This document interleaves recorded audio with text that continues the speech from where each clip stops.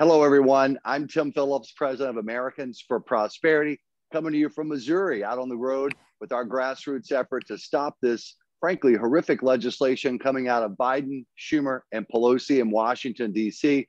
Uh, that will be just disastrous for our freedoms, uh, for our nation's prosperity, and so much more.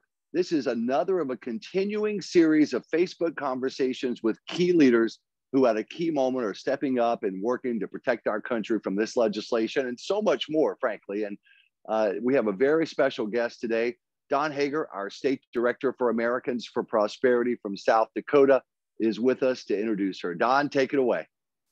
Thank you, Tim. Uh, hey, it's uh, it's good to be with uh, everyone today, and and I'm excited to uh, to be on this interview with uh, with Governor Kristi Noem from here in South Dakota. Um, she was uh, she was our congresswoman uh, for a while, and and then uh, uh more recently uh, uh, our our governor. And um, proud to have you with it with us, Kristi. so here's the thing: we're you know Tim mentioned infrastructure, and we've been talking about that quite a bit, and I just don't think that word means what they think it means in Washington, and and so let's talk about what that is. You know, we we often hear about the uh, about here's what we'll get for this and what we'll get for that, but what people really want to know is who's paying for all this, mm-hmm. and and what how are we paying for all this? So, can you talk to us about that?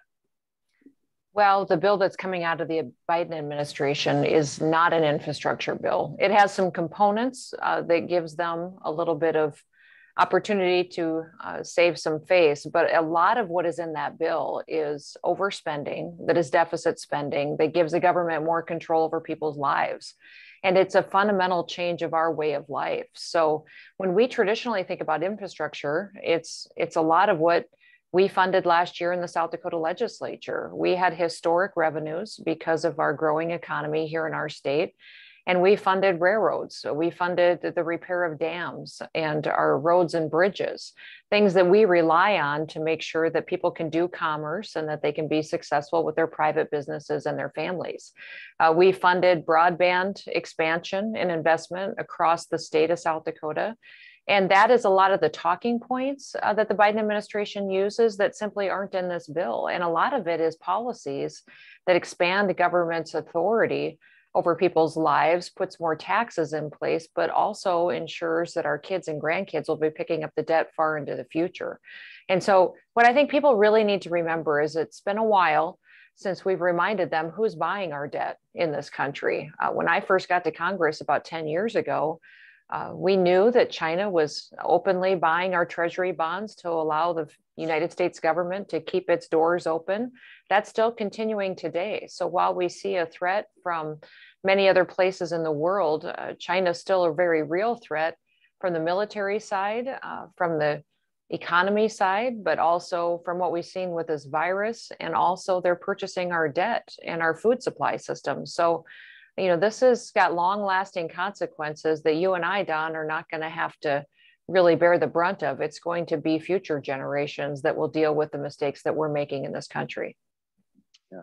You know, and Governor, the, the as bad as the spending is, and it's really terrible. You mentioned the debt and the deficits.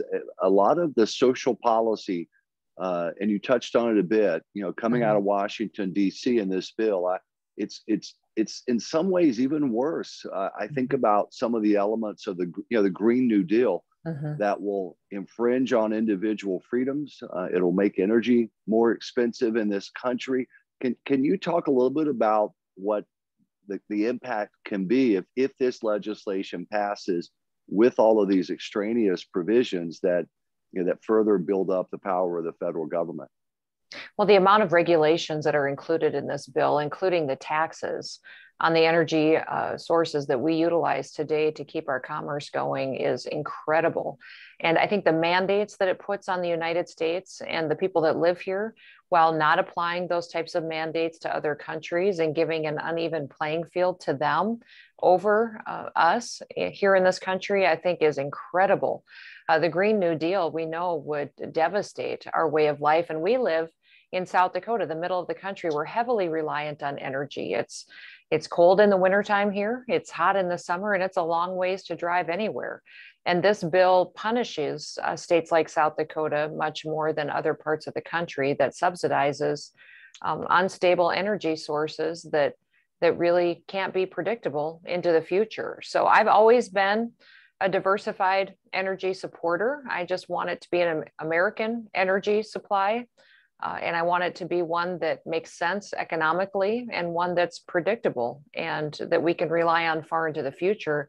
And this bill um, goes out there and incredibly picks winners and losers, which is not what the federal government should be doing. Boy, that's that's right, Governor. And and you know another aspect of this bill uh, is is in healthcare. Uh, and you know, you hear them talk about uh, Medicare for all and and a, and a public option. When I think what people really want uh, is a personal option, mm-hmm. Uh, affordable healthcare and and accessible healthcare and transparency in prices and that sort mm-hmm. of thing. So, talk to us about that. Well, and we're having that discussion here in South Dakota. You know, I think there's been a consistent press uh, across the country and from the federal government to take more decisions out of people's hands when it comes to their family's health care and give it to the government. And if, if ever that became more real uh, to families across our state and across the country, it's during this pandemic. People mm-hmm. are realizing that they don't want the government telling them uh, what they have to put in their bodies, what they don't have to put in their bodies, what is going to be mandated uh, not based on the science and the facts. I think we've learned that in a very new way the last 18 to 24 months.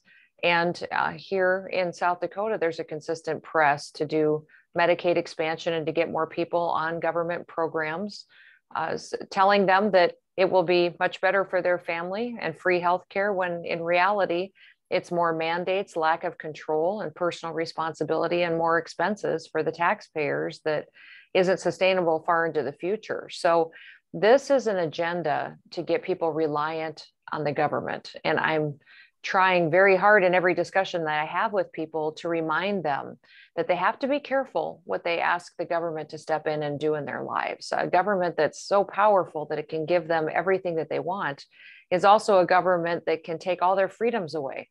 And, and what many times we see people asking the government to do is not the role of the government.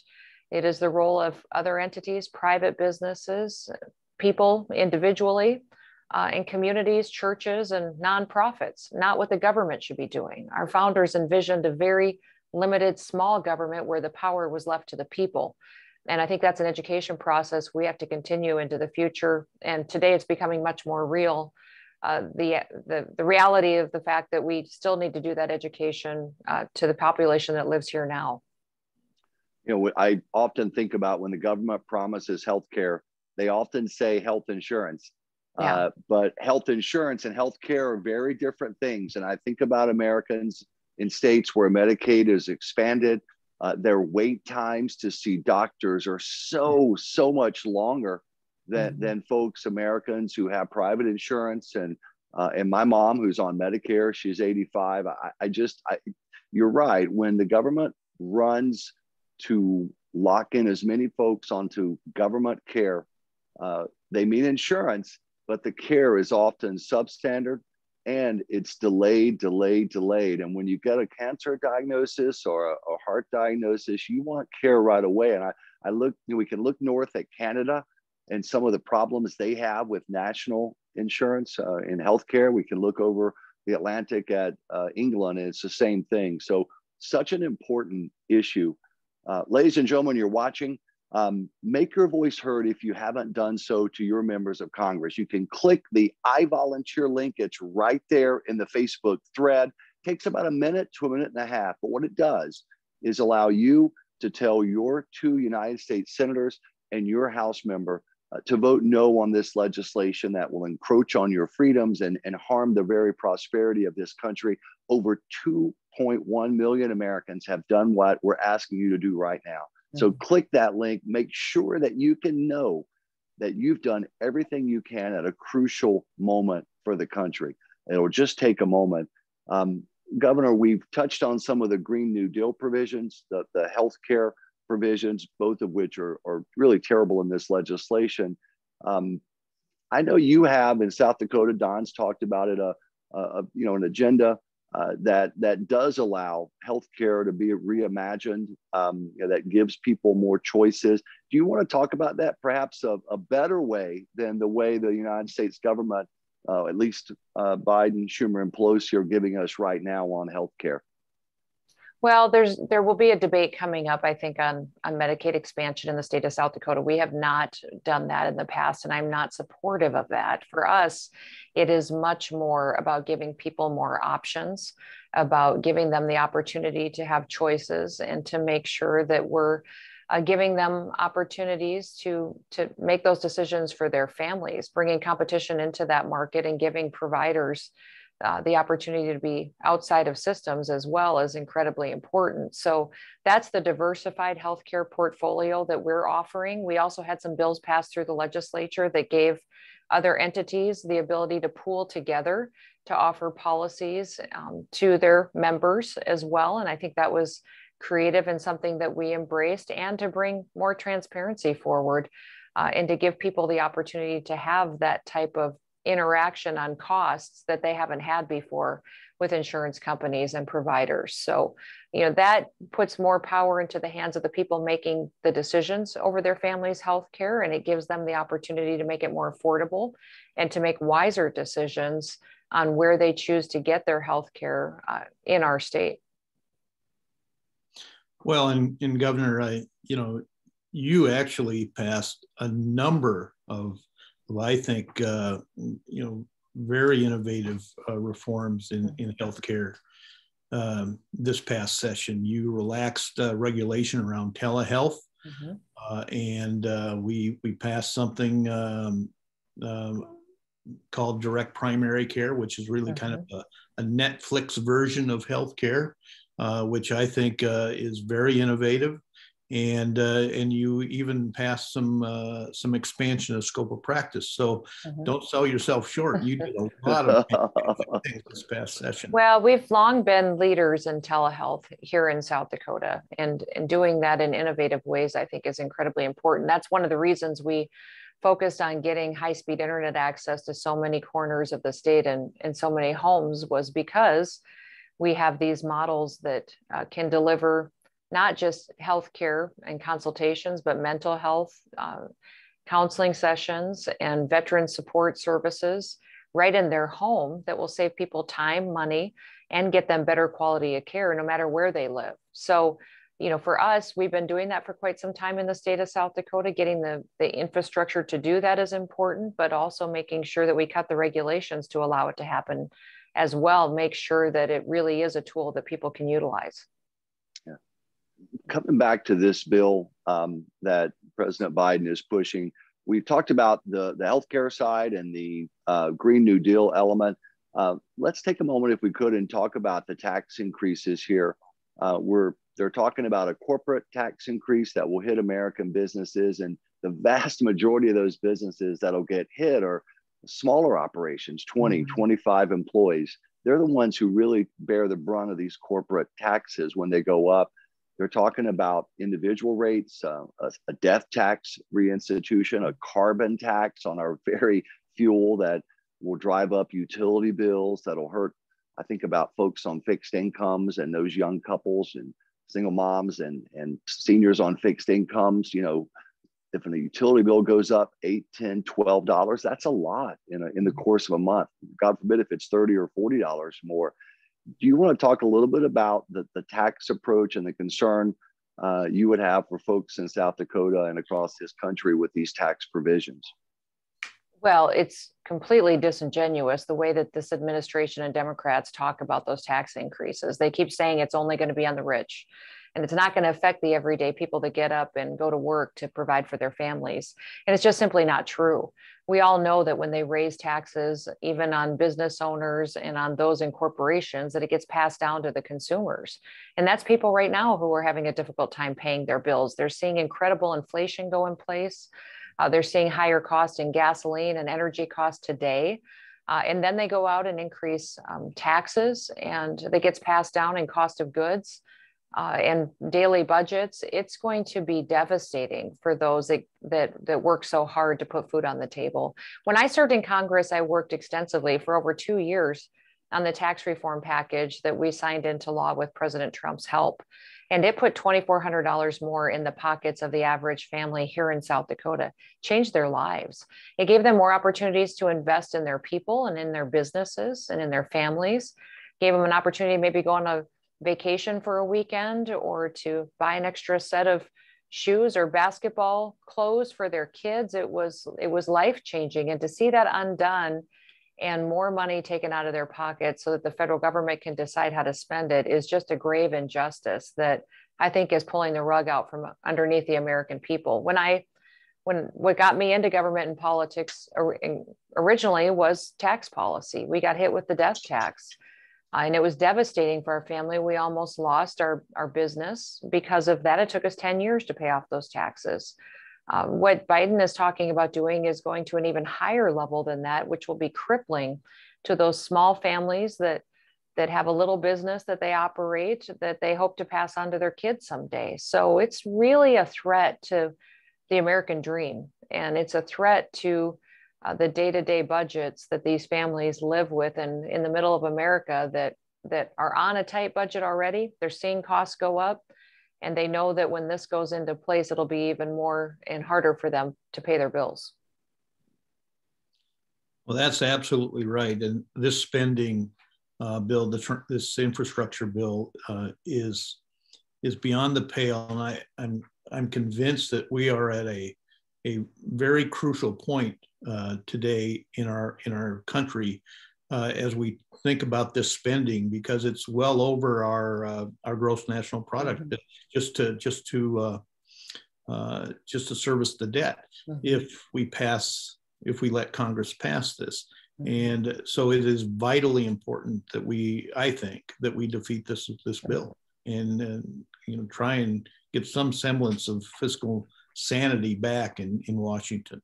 You know, Don and Tim, I, I think what's people really need to realize is that leadership has consequences. Mm-hmm. Um, we had a lot of people sit on the sidelines the last election cycle um, because they didn't have the perfect candidate or they didn't, you know, like the environment or conversations that were going on. But the people that are in these seats makes a world of difference. And uh, there's a lot of people listening to this right now that think, you know what, maybe I didn't do enough in the last election cycle. Today's the day that you need to step up and do more. You start calling those senators, you start calling those members of Congress. I remember when I was in Congress, it only took three or four phone calls before we recognized that something was a big issue that I needed to be focused on.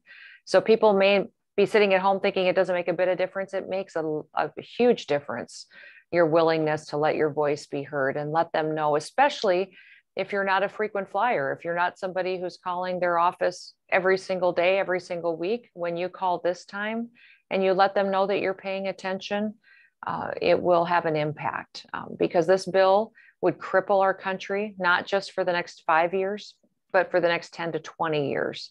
This type of spending cannot be undone overnight. And the people that are in those seats are having huge consequences on this country and will in our future. And that's why it's more important now, today than ever, that you do something, that you take action, and that you don't sit back and wait for somebody else to do your job, that you you take action and go out and weigh in and make sure your voices are heard. Ladies and gentlemen watching, uh, Governor Noem is so right. Uh, if you can click that I volunteer thread, make your voice heard make sure that your two senators and your House, you may be thinking, well, gosh, my guys are good conservatives. They're going to do the right thing. Mm-hmm. They need to be encouraged. They need to know the folks back home have their back. Mm-hmm. Uh, and then you may think, oh, well, gosh, these folks are so liberal in my, my state, they're going to vote wrong. Every member of Congress, I worked on the Hill as a chief of staff for several years. Every member, every day, knows how many folks from back home have contacted them, what the issue was, and whether it's a yes or no. So it's registered. They monitor that. A lot of these folks want to stay in office literally forever. They monitor closely what's happening in their district and state. So I would urge you, take a moment, click that I volunteer link. Uh, Governor, we've talked about some big challenges the country is facing. And it mm-hmm. it's a sobering moment without question for our nations, for our, for our nation, for our freedoms, for our prosperity. Uh, knowing you, I know that you're an optimistic person about our nation's future, though. You want to close us out today with a, of the reason that you do maintain a hopeful, optimistic view for our nation moving forward, despite some very difficult challenges right now. Well, we, we woke up this morning in the United States of America. We're still more blessed uh, than any other person in any other country in the world just because we woke up here. So I think we forget so many times when we're watching the news, uh, we're, we're listening to what's happening across the country and we get discouraged by what we see changing quickly. But I think we need to remember that this country is still incredibly special. Our history teaches us lessons we can learn from every day. And for me, my faith is incredibly important. So I also remember that um, that God can change hearts and minds overnight, uh, and that uh, there still is an incredible opportunity for Him to uh, waken people people up to the importance of freedom and liberty, and really uh, the hope that we have in this country and in the people that live here. So I tell people everywhere I go, be happy. We will draw people to us by our optimism. Uh, you know, we I, I I've been around a lot of people in my life, Republicans and Democrats, and I didn't change any Democrats into Republicans by yelling at them. It was by building relationships. It was by um, loving them and then also educating them on the policies. And they realized that what we actually do as conservatives brings opportunity it, it brings uh, the American dream to life for so many. And, and that's really how we won them over. So draw people to, to you by your optimism today. Be happy. And then uh, be, be happy warriors out there, making sure that we're focusing on what makes this country special and how blessed we are to be in the United States of America. Well said, Governor Kristi Noem from the great state of South Dakota. For Don Haggar, our Americans for Prosperity State Director in South Dakota, I'm Tim Phillips, president of Americans for Prosperity. We're going to stay out at the grassroots across this wonderful country of ours, fighting the good fight. As the governor said, as happy warriors, bringing people together uh, for these freedoms and for our prosperity. Thank you all very much.